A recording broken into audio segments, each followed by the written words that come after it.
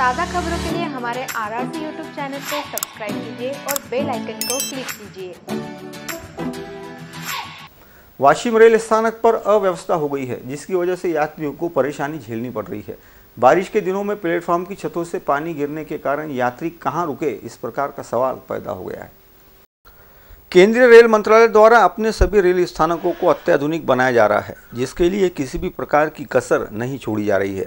परंतु वाशिम रेल स्थानक पर बारिश के कारण प्लेटफार्म की छतें पानी टपका रही है। वाशिम रेलवे स्थानक के प्लेटफॉर्म क्रमांक एक पर लगे पत्थरों से पानी गिरने के कारण यात्रियों को दिक्कतों का सामना करना पड़ रहा है। सप्ताह में एक बार दौड़ने वाली हैदराबाद डेक्कन जयपुर एक्सप्रेस रेल में यात्रा करने वाले यात्री रात के समय वाशिम रेल स्थानक पर आते हैं। यह ट्रेन प्रातःकाल चार बजे के समय वाशिम रेल स्थानक पर पहुँचती है, जिसके कारण यात्री रात के समय रेल स्थानक पर ही रुकते हैं।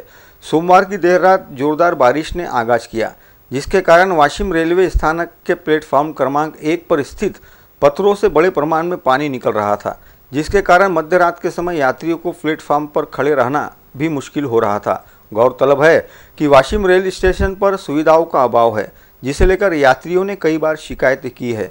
इसके अलावा वरिष्ठ रेल अधिकारी समय समय पर रेल स्थान का इंस्पेक्शन भी करते हैं। बावजूद इसके, यह समस्या उन्हें नज़र नहीं आती है, जिसे लेकर आश्चर्य जताया जा रहा है।